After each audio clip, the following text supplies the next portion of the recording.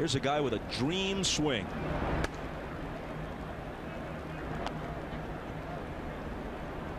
And dream numbers for a rookie.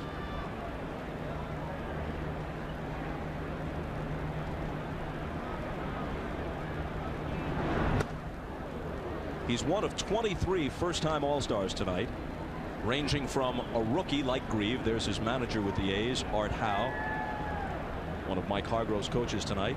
Ranging from a rookie like Grieve to longtime veterans like Vizquel and Weiss finally getting their first All-Star chance. Well, Ben Grieve has been opening a lot of eyes around baseball, and Hall of Famer Willie McCovey says that he's been really impressed by Grieve, and he thinks he's going to be a great hitter.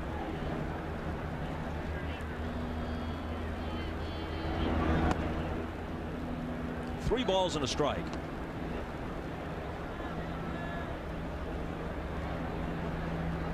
Not much to quibble with when you look at his form and that classic swing of his.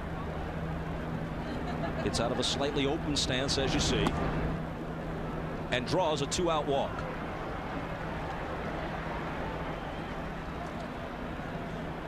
But like most young players, you can get off to a great start and the pitchers will try to find a way to get you out and you will have to make adjustments and the key will be how well he adjusts to the changes that they make in the next couple of years arrives at first where McGwire might be saying how do you like Oakland kid I prefer St. Louis to tell you the truth